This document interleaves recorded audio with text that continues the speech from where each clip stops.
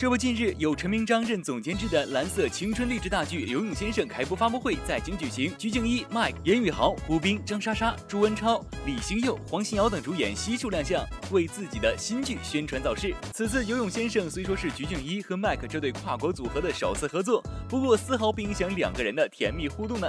发布会现场，两人就大方发糖，Mike 就直接上演土味情话摸头杀。三二一，Action！我很认真的。嗯嗯嗯。你知道我想喝什么吗？这下我听懂了，你想喝什么是吗？对。嗯，什么？我想喝护你。哇！好。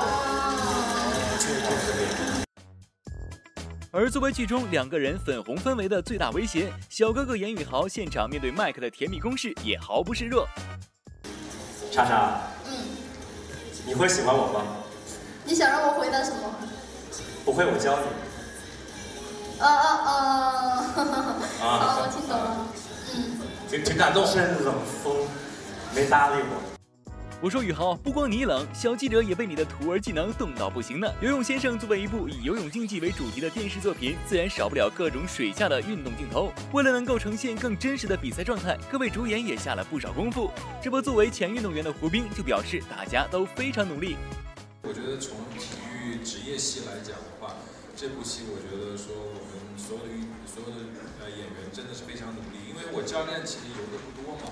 其实他们游的挺多的，我觉得这个这这个小伙伴们真的是挺挺努力的。而要说大家为了新剧的体能储备有多厉害，看看被剧组公认为最佳身材的朱文超的巧克力腹肌就知道了。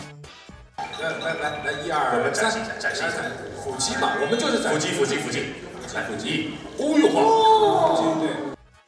哎呦，有些不好意思了。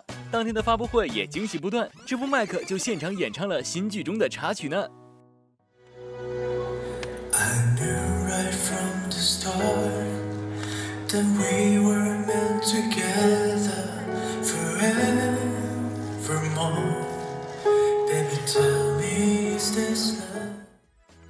如此温柔的歌声，还真是期待剧中两个人的感情走向呢。看来还是要乖乖追剧走起了。